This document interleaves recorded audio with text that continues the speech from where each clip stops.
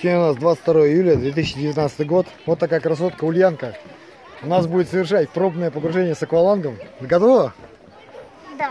Да. Надо только одеться, да? Да. Да. Сейчас тяжелый процесс идет одевания.